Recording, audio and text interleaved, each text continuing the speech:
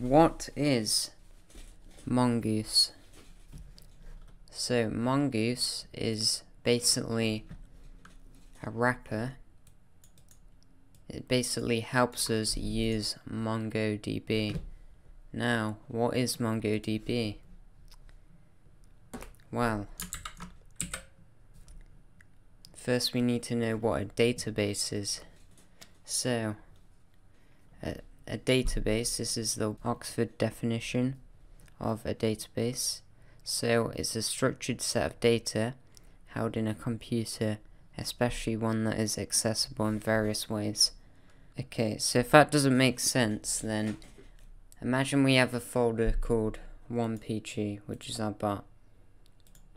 That is the database in MongoDB. That contains all the data that we need to to customize the bot. So now there's also a collection within a database. So a collection, we're in a collection, it's called guilds, is a group of similar documents so we have a guild here, which is called 1, 2. That's the ID, the snowflake ID, it doesn't matter. In Mongoose or MongoDB, the ID is always dollar, not dollar, um, underscore ID. This is the convention.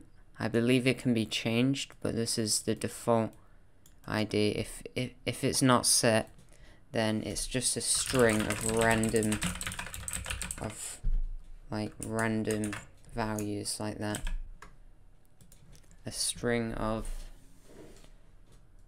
yeah basically and that's called a an object ID so there we go. Here we have another similar document. Okay, so this is a collection and this is a document. Now, it's JSON, but in MongoDB it's stored as BSON, which is basically the same but quicker access and it's faster. It's binary. It's binary basically, it's stored in binary. So, what is a database management system? So it's software that handles the storage, retrieval and updating of data in a computer system. So it allows us to it allows create, read, update, delete on a database. So MongoDB is a database and it also allows us to manage the data within the database. So this is how you do it with MongoDB.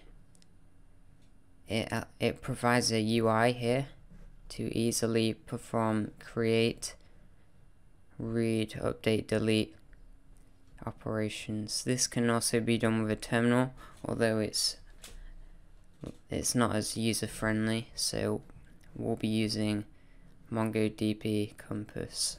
If you have MongoDB installed, basically you would type mongod. This will start the, basically it stands for, or mongod.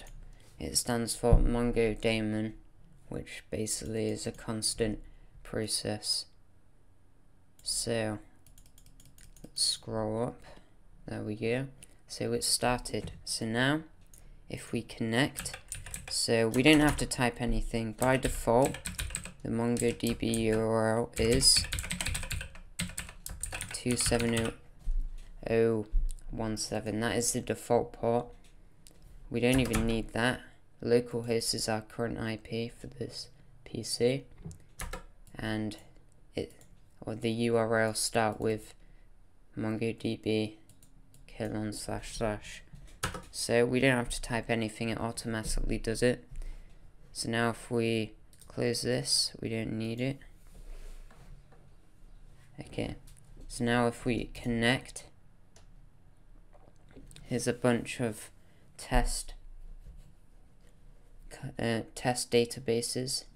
So we're currently managing these databases. So as you can see, we've received connections.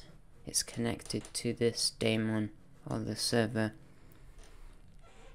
So I'll just show you another bot that I have. So if we go into guilds, you can see. So this is how you would uniquely identify a guild with the, with the ID and it basically has settings in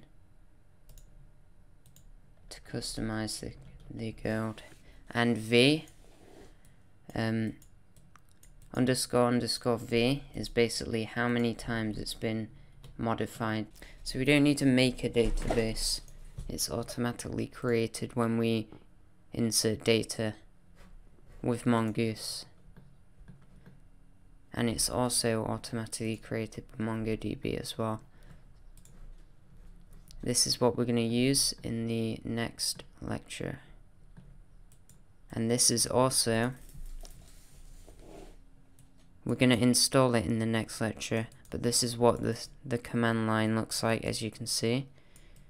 It's not as good as the UI, not as user friendly. Is what a document looks like in JSON, but it's called bson of course and you can query you can do a lot with it it's very powerful and a lot faster than saving text files because text files can become corrupt and suffer many issues in the long term. So see you in the next lecture